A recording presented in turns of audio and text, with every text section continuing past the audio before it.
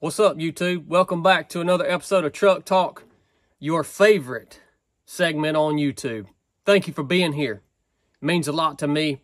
I'm thankful for this community that has formed around these Truck Talk episodes. Love seeing you guys comment. Love seeing what you add to the conversation. And I just love the fact that you take the time out of your day to tune in. It means a lot to me. It means a lot to 3 of 7 Project. And we couldn't and wouldn't do it without you. So thank you. This episode, as usual, is brought to you by me, inspired by my man Chili. I'm going to try to clear up some confusion. A lot of us normal folks, we're confused about something. I consider myself a normal folk.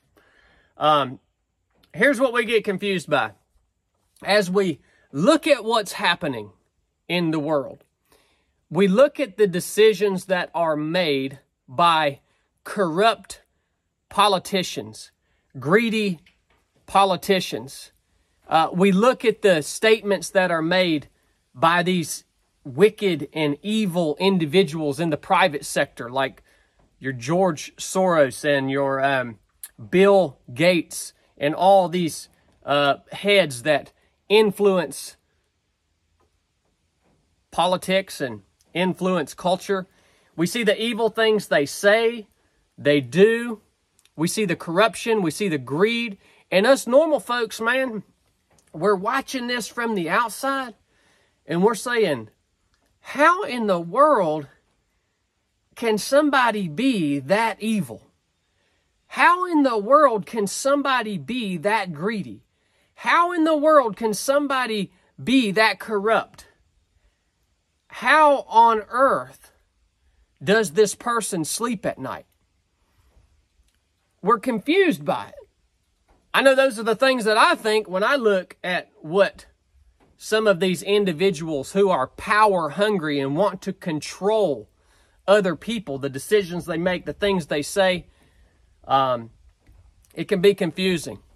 Let me explain to you how these people are able to sleep at night how these people are able to do what they do and just carry on as if it's no big deal, man. Let me tell you what has happened. See, these individuals weren't born that way, all right? At some point in their life, they probably experienced some little bit of success and they liked it. They got some little bit of power or control and they liked it, right? They liked it.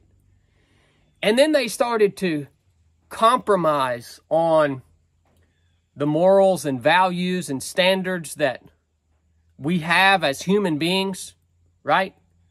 That, that are that are built into our conscience, our very nature, the law of God that's built into every human, where we know what's right or wrong.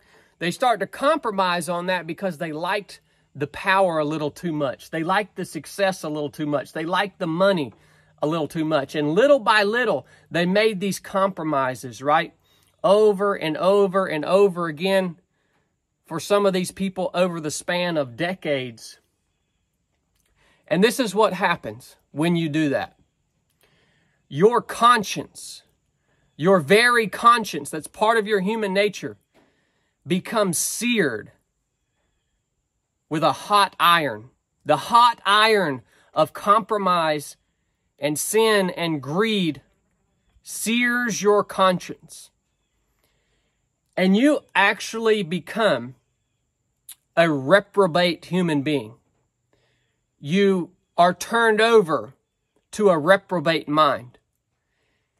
And you reach the point when your conscience is seared with the hot iron of greed and wickedness and sin that you can no longer discern right from wrong.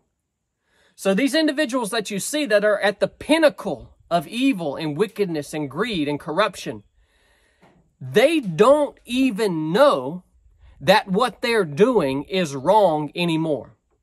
They've reached that point. And that's the reason they're able to sleep at night. They have a debased mind. They are reprobate humans. There is no hope for them. There is no hope for reconciliation. There is no hope for repentance. And those of you right now who are watching this, who are dabbling in compromise on your moral standards, on your own conscience, you're dabbling in lies, you're dabbling in adultery, you're dabbling in pornography, you're dabbling in greed, you're dabbling in corruption, and you think, I can stop this at any time. You're playing with fire, man. That's why the word says the wages of sin is death.